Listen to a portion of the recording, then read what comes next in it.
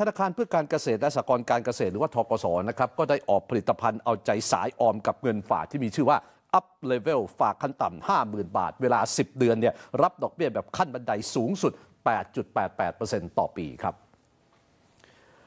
นายชัดชัยสิริไลนะครับผู้จัดการธนาคารเพื่อการเกษตรและสหกรณ์การเกษตรหรือว่าทกสเนี่ยเอาบอกว่าทกสออกผลิตภัณฑ์เงินฝาก up level ครับเพื่อเพิ่มสิทธิประโยชน์ให้กับผู้รักการออมอย่างต่อเนื่อง ก็รับฝากขั้นต่ำ50,000 บาทครับ เป็นเวลา 10 เดือน รับดอกเบี้ยแบบขั้นบันไดสูงสุดไปถึง 8.88%ต่อปี ก็ตกเฉลี่ยประมาณ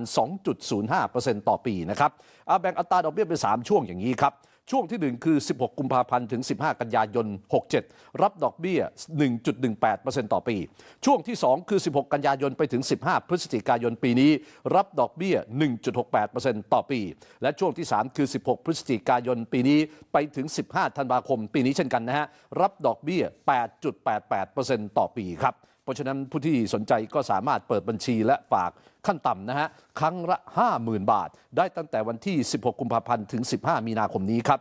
ผู้ฝากที่ถอนเงินบางส่วน หรือว่าปิดบัญชีก่อนครบกำหนดเนี่ยนะครับธนาคารก็จะเรียกเก็บค่าธรรมเนียมร้อยละหนึ่งของเงินต้นที่ถอนนะครับขั้นต่ำครั้งละ 500 บาทครับเพราะฉะนั้นสอบถามรายละเอียดเพิ่มเติมได้ที่ทกสทุกสาขาทั่วประเทศ หรือโทรไปที่ call center นะครับ 02 555 0555 ครับ